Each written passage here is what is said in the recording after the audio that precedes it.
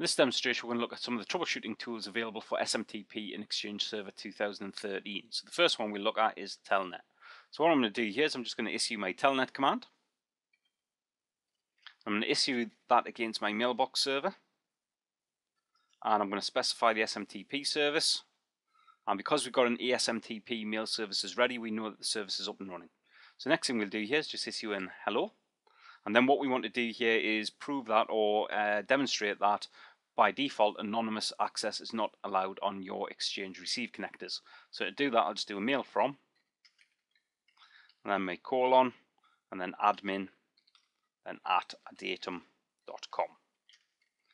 Now after a couple of seconds that should fail, so we should get connection lost. And this will prove that we don't have anonymous access, so there you go, that is definitely correct. And the next thing we'll do is we'll just have a look at some of the troubleshooting tools available in the Exchange Admin Center. So what I'll do here is I'll just switch over to the console of my mailbox server. So on my mailbox server here, the next thing to do is just come into my Exchange Admin Center. So to do that, I just need to come into Internet Explorer.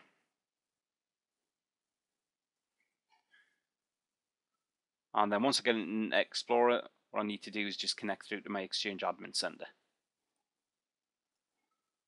Alright, so I've typed in the URL for the Exchange Admin Center and then we'll just log in as administrator.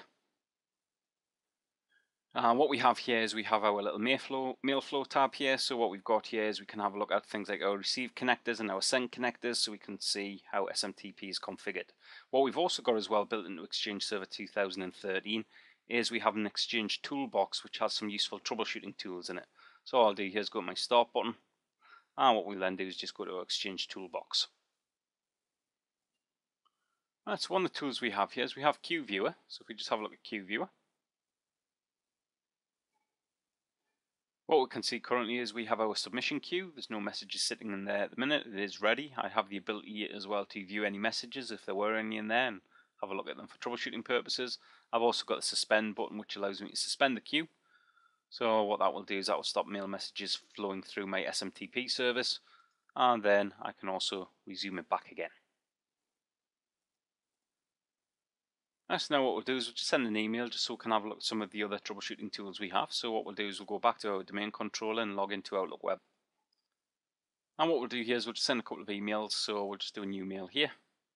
And we're just going to send this to amra at datum.com. And what we'll do here is we'll just call this test SMTP. And then we'll just click send.